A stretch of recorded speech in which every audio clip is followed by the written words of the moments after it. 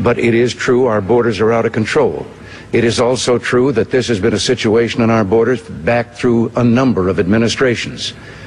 And I supported this bill.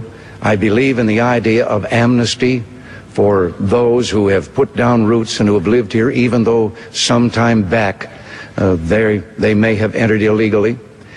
With regard to the employer sanctions, this we must have that, not only to ensure that we can identify the illegal aliens, but also, while some keep protesting about what it would do to employers, there is another employer that we shouldn't be so concerned about. And these are employers down through the years who have encouraged the illegal entry into this country because they then hire these individuals and hire them at starvation wages and with none of the benefits that we think are normal and natural for workers in our country. And the individuals can't complain because of their illegal status. We don't think that those people should be allowed to continue operating free. And this was why the provisions that we had in with regard to sanctions and so forth. And I'm going to do everything I can, and all of us in the administration are, to join in again when Congress is back at it to get an immigration bill that will give us once again control of our borders. All Americans, not only in the states most heavily affected, but in every place in this country, are rightly disturbed by the large numbers of illegal aliens entering our country. The jobs they hold might otherwise be held by citizens or legal immigrants. The public service they use impose burdens on our taxpayers. That's why our administration has moved aggressively to secure our borders more by hiring a record number of new border guards, by deporting twice as many criminal aliens as ever before, by cracking down on illegal hiring, by barring welfare benefits to illegal aliens.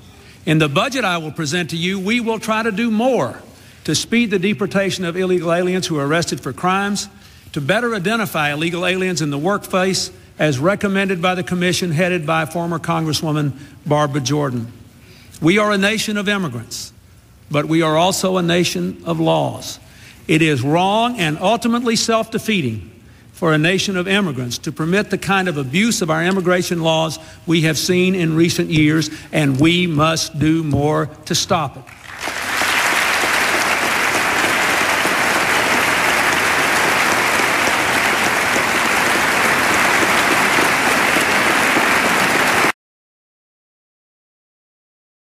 And you remember this well. I was covering you then. Ronald Reagan and you, you voted for legislation that had a pathway to citizenship for illegal immigrants. As you well remember, there were what, maybe 12 million, 10 million, 12 million uh, illegal immigrants in the United States right now. Some called it amnesty then. They still call it amnesty now. What would you do if you were president of the United States with these millions of illegal immigrants, many of whom have been in this country for a long time? I'm starting to say I think that we ought to have an H-1 visa that goes with every graduate degree in math, science, and engineering uh, so that people stay here. You go about five blocks down the street, you'll see a statue of Einstein. Einstein came here as an immigrant. Uh, so let's be clear how much the United States has, has drawn upon the world to be richer, better, and more inclusive. Uh, I did vote for the Simpson-Mazzoli Act. Ronald Reagan, in, in his um, diary, says he signed it. And we're supposed to have 300,000 people get amnesty. There were 3 million. But he signed it because we are going to get two things in return. We're going to get control of the border, and we're going to get a guest worker program with employer enforcement. We got neither. So I think you've got to deal with this as a comprehensive approach that starts with controlling the border, as the governor said. Uh, I believe ultimately you have to find some system of, once you've put every piece in place, which includes a guest worker program, you need something like a World War II Selective Service Board that frankly reviews the people who are here. If you're here, if you've come here recently, you have no ties to this country, you ought to go home, period. If you've been here 25 years and you got three kids and two grandkids, you've been paying taxes and obeying the law, you belong to a local church, I don't think we're going to separate you from your family, uproot you forcefully, and kick you out. The Krieble Foundation has a very good red card program that says you get to be legal, but you don't get a path to citizenship. And so there's a way to ultimately uh, end up with a country where there's no more illegality, but you haven't automatically given amnesty to anyone.